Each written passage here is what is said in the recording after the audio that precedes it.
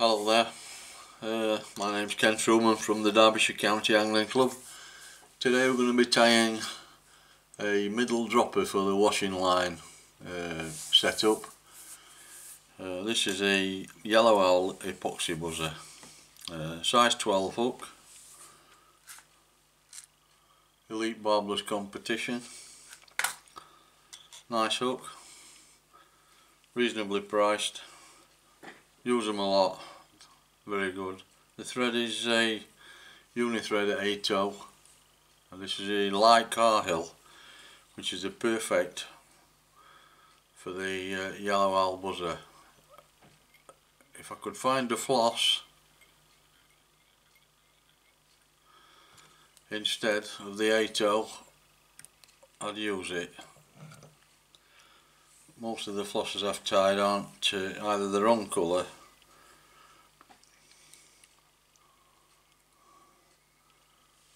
or they they, they fuzz up.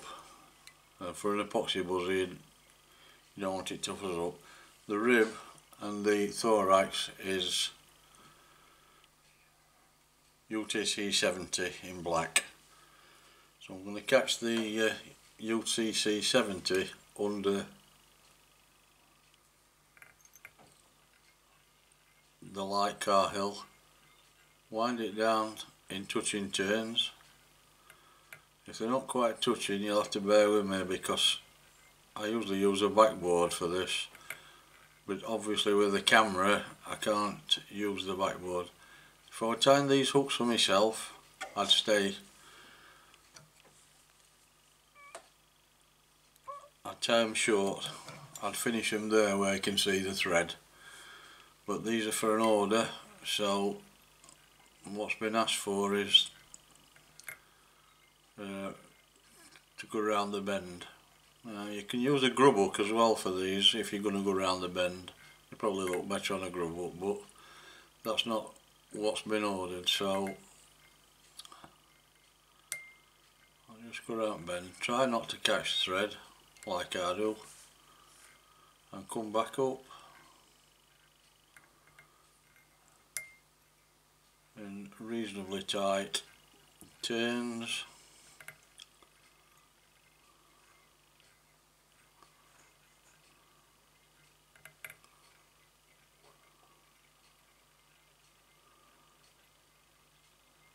till you get to where you into the thorax. Finish with the uh, light thread now, so we can tie that off.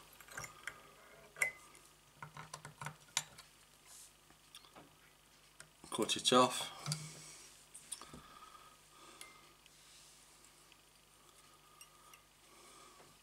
Rib the fly with the UTC 70 and this is also going to be used to form the thorax. Simple flies these, simple fly to tie, not difficult.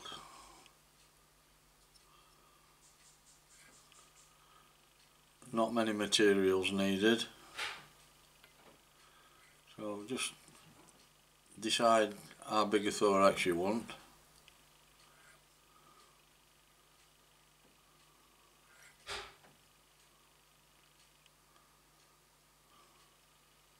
Be of going up to the eye, there's only a, a, a couple of goose biots to go on here. I'll show you how to do them in a minute. So, these are the biots. These are from uh, Dave Downey.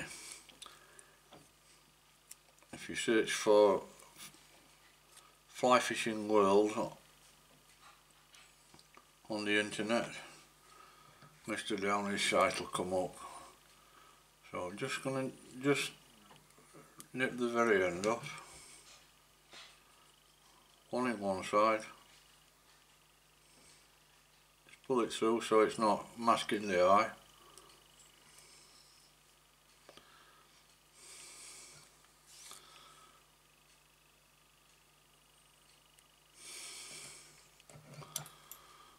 One on the other side.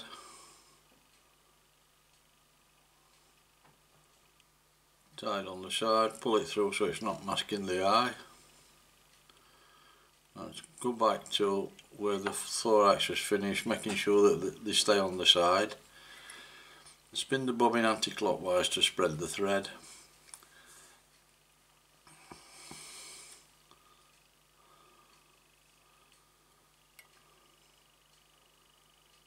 Build the thorax up.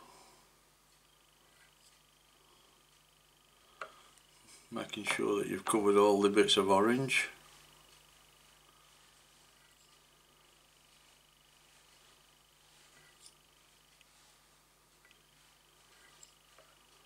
I'm going to cover it with UV so there's no need to be that particular. Come back to the eye, fold the biot over, catch it in, invert uh, the vise so you can see it, fold the other biot over. At this, at this stage you can move them so that they flush with the eyes. Now three turns, pull the thread tight, break the biot off. Invert the vise, pull the thread tight, break the biot off.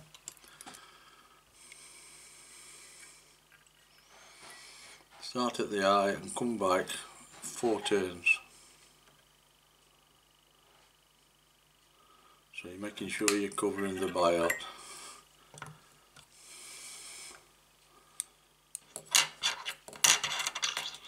cut the thread off.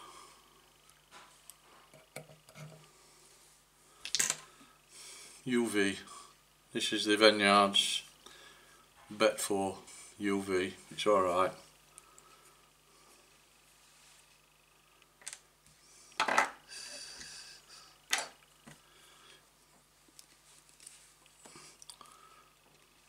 let's fit the, the supplied nozzle on it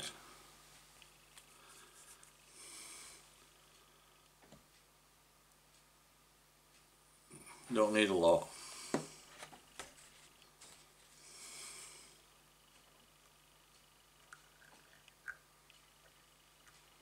probably too much on there.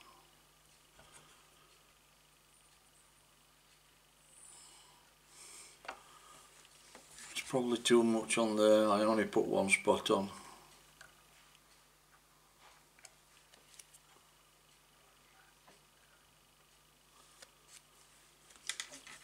Make sure the eye's clear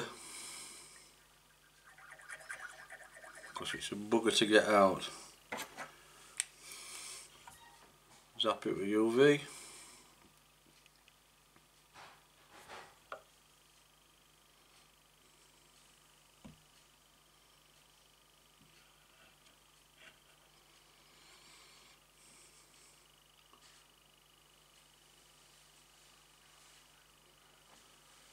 Takes a few seconds. It's pretty good this bet for it's from Veniards. It's about seven pound for a, uh, you want the thin stuff.